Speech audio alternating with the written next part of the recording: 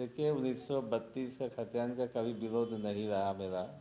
पहले भी नहीं था, अब भी नहीं है। मैं ये कहना चाह रहा हूँ, आप 1932 का जब कट ऑफ़ डेट मान लेते हैं किसी भी खतियान को तो उसके बाद के भी बहुत सारे सर्वे हुए हैं, जिससे हमारे कोल्हान में वे बहुत सारे, कम से कम पचास साठ लाख लोग हैं, जो एक बहुत बड़ा भाग है। इसके बाद और भी उसमें तथ्य है कि बाकी और भी जो हम समझते हैं कि पंद्रह ज़िले हैं, जहाँ पर 1932 का खतियान है ही नहीं। तो इस पर तय करना है कि मेजोरिटी किसका है।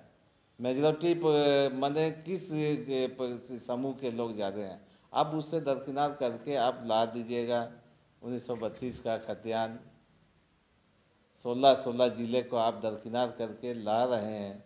तो स्वाभाविक रूप से ये है कि वैधानिक रूप से लोग प्रश्न उठाएगा जो उठ ही रहा है। आज जो राजभवन जी ने बात को वापस कर दिया गया तो ये उसी का घोतक है। तो हम ये कहना चाह रहे हैं कि आप 1932 का खतियान के बाद का क्या प्रावधान है उस पर कोई सरकार के द्वारा जवाब नहीं दिया गया। हमने चौंसठ की बात को ज़रूर रखा था चूँकि एक बहुत बड़ा भाग कोलान का चौंसठ में उसका सर्वे किया गया। पहला से या, या रीसेटलमेंट सर्वे जो हुआ था सर्वे सेटलमेंट हुआ था वो चौंसठ में कोलान में हुआ है। बाकी जगह राज्य, बाकी ज़िलों में कहीं पर बत्तीस में भी हुआ, उससे पहले भी हुआ है। क्योंकि सैया के ज़मीन की सर्वे कभी भी एक साथ एक साथ कभी नहीं हुआ। जब से हम समझते हैं कि यह 200-300 साल के बीच कभी भी एक साथ नहीं हुआ है तो हम उसको किसी एक डेट में करके बाँध नहीं सकते हैं। ये वैधानिक रूप से गलत है।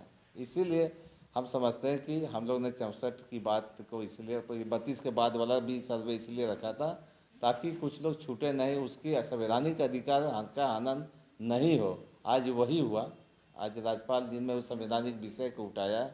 तो राज्य सरकार को चाहिए कि हम एक सर्व या राज्य सरकार को चाहिए एक सर्वसम्मत, एक स्थानीय नीति बने, जिससे बेरोजगार युवा लोगों को उसका रोज़गार मिले। अपने राज्य से जुड़ी हर ताज़ा खबरों के लिए आप हमें सब्सक्राइब करें, साथ ही बेल आइकन बटन दबाना ना भूलें।